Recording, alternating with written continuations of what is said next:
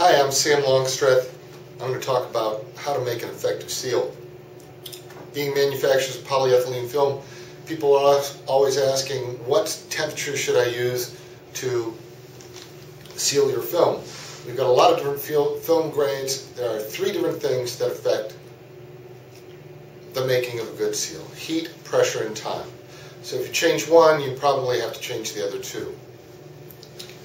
So this is a very rudimentary sealing piece of sealing equipment, and we're going to set it on the number one dwell time, and I'm going to try to add a whole lot of pressure. This has a spring in it to provide the amount of pressure, but we're going to bypass that by me putting my massive weight on top of it. So let's see what happens.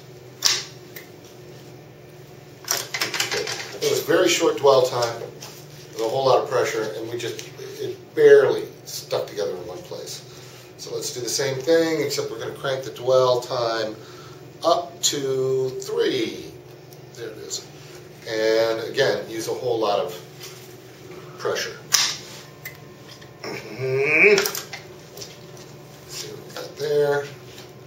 Oop, almost, but no cigar. So now we're going to crank the uh, dwell up to 11. No, we're just going to crank it up to 5 and see what happens. Again, we're going to apply a whole lot of pressure. Okay. Oh, I think we definitely have pay dirt. All right, yeah, we've got, I think what we've got is an effective seal there. Yeah. It's strong.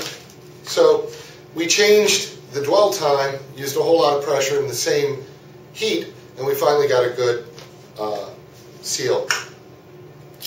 So that's how heat, pressure, and time can affect the quality of the seal.